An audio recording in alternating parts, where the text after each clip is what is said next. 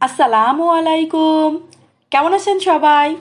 আশা করি আল্লাহর রহমতে যে যেখানেই আছেন সবাই খুবই ভালো আছেন।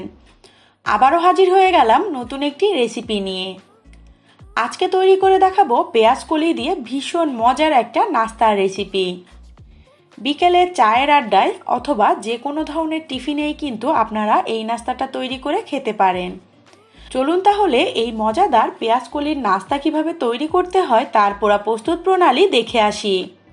নাস্তাটা তৈরি করার জন্য এখানে আমি দুইশো পঞ্চাশ গ্রাম পরিমাণ পেঁয়াজের কলি নিয়েছি। কলিটাকে ভালোভাবে ধুয়ে তারপরে মুছে নিয়ে ছোট ছোট আকারে কেটে নিয়েছি। নাস্তাটা সব থেকে ভালো হয় যদি পেঁয়াজের কলিগুলো একটু ছোট করে কেটে নিতে পারেন। আর খেয়াল রাখবেন কলির গায়ে যেন কোনো এক্সট্রা পানি না লেগে থাকে। তারপর দিয়ে দিচ্ছি এখানে একটা ডিম। দিয়ে দিচ্ছি এখানে হাফ কাপ পরিমাণ পেঁয়াজ কুচি। পেঁয়াজটাকে একটু মিহি করে কুচি করে নিয়েছি। আর নিয়েছি এখানে হাফ কাপ ফ্রেশ ধনিয়া পাতা কুচি। আর নিয়েছি এখানে তিনটা কাঁচামরিচ কুচি। ঝালটা আসলে যে যার টেস্ট অনুযায়ী দিয়ে দিলেই হবে। দিয়ে দিচ্ছি এখানে হাফ কাপ পরিমাণ বেসন। এখানে আমি মুসুরের ডালের বেসনটা ব্যবহার করেছি। তারপর দিয়ে দিচ্ছি এখানে হাফ কাপ পরিমাণ শুকনা চাউলের গুঁড়া। চাইলে কিন্তু আপনারা এখানে কর্নফ্লাওয়ারটাও ব্যবহার করতে পারেন। দিয়ে দিচ্ছি এখানে এক চা চামচ পরিমাণ লবণ। লবণটাও কিন্তু যার যার স্বাদ অনুযায়ী দিয়ে দিতে হবে। দিয়ে দিচ্ছি এখানে হাফ টিস্পুন পরিমাণ হলুদের গুঁড়া। ওয়ান ফোর চা চামচ পরিমাণ দিয়ে দিচ্ছি শুকনা মরিচের গুঁড়া। যারা ঝালটা কম খেতে পছন্দ করেন তারা কিন্তু এটা স্কিপ করতে পারেন। হাফ চা চামচ পরিমাণ দিয়ে দিচ্ছি এখানে ভাজা জিরার গুঁড়া। এক চা চামচ পরিমাণ দিয়ে দিচ্ছি এখানে চাট মশলা। চাইলে আপনারা এখানে যে কোনো ধরনের টেস্টি মশলাও ব্যবহার করতে পারেন। এখন আগে এই শুকনো উপকরণগুলো খুব ভালোভাবে একটু মিশিয়ে নিতে হবে। যদি আপনারা প্রপারলি পাকোড়ার শেপটা আনতে না পারেন, তাহলে সামান্য একটু পানি এখানে ব্যবহার করা যাবে। তবে চেষ্টা করবেন পানি খুবই সামান্য একটু ব্যবহার করার। তাহলে কি হবে? পাকোড়াগুলো কিন্তু অনেক বেশি ক্রিস্পি হবে। আর কিছুক্ষণ মাখাতে মাখাতেই দেখবেন অনেকটাই সফট হয়ে যাবে, পেঁয়াজের কলি থেকে পানিটা বের হয়ে এসে। দেখতেই পাচ্ছেন, বেশ আঠালো করেই কিন্তু এই মিশ্রণটা মাখিয়ে নিতে হবে। এখন কিন্তু এটা ফ্রাই করার জন্য একেবারেই রেডি পাকোড়া বা চপটা তৈরি করার জন্য চুলায় আমি একটা প্যান বসিয়ে দিয়ে দিচ্ছি এখানে পরিমাণ মতো তেল। চাইলে এখানে আপনারা ডুবো তেলেও ভাজতে পারেন, আবার চাইলে কিন্তু অল্প তেলে, অর্থাৎ শ্যালো ফ্রাই করেও নিতে পারেন।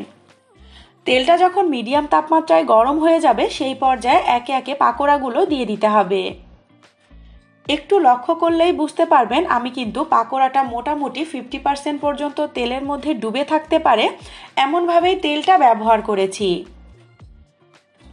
এখন একটা সাইড সামান্য একটু শক্ত হয়ে যাওয়া পর্যন্ত অপেক্ষা করতে হবে।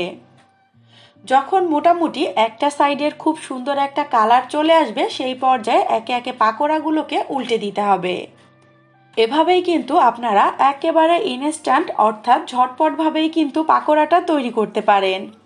ঝাল একটু কম করে দিলে দেখবেন বাচ্চারা অনেক বেশি পছন্দ করে খাবে। অনেক বাচ্চাই আছে, দেখবেন সবজি খেতে চায় না। একটু কষ্ট করে সবজি দিয়ে যদি এভাবে পাকোড়া বা চপগুলো তৈরি করে দিতে পারেন তাহলে কিন্তু তারা এই চপগুলো খাওয়ার সঙ্গে সঙ্গে সবজিটাও যে খাচ্ছে সেটা কিন্তু বুঝতেই পারবে না। কারণ এই পাকোড়াগুলো কিন্তু খেতে অনেক বেশি মজার হয়।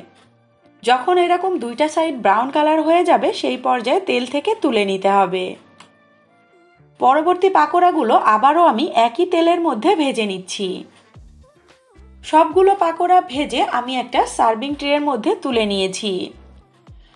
গরম গরম এই চপ বা পাকোড়াগুলো কিন্তু টমেটো ক্যাচাপের সঙ্গে খেতে অনেক বেশি ভালো লাগে। একটা পাকোড়া আমি আপনাদেরকে এখন একটু ভেঙে দেখাই। এই পাকোড়াগুলোর বাইরের লেয়ারটা থাকবে ক্রিস্পি এবং ভেতর সাইড থাকবে সফট। আর একটু লক্ষ্য করলেই বুঝবেন সবজিগুলো কতটা সুন্দরভাবে সেদ্ধ হয়েছে। তৈরি হয়ে গেল খুবই সহজভাবে মজাদার মুচমুচে একটা পেঁয়াজের কলি দিয়ে পাকোড়ার রেসিপি আশা করি আমার আজকের এই সহজ নাস্তার রেসিপিটা আপনাদের কাছে খুবই ভালো লেগেছে।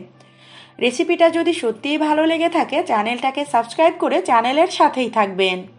রেসিপিতে লাইক অ্যান্ড কমেন্ট করবেন, বেশি বেশি করে শেয়ার করবেন। ধন্যবাদ। আল্লাহ হাফেজ সবাইকে।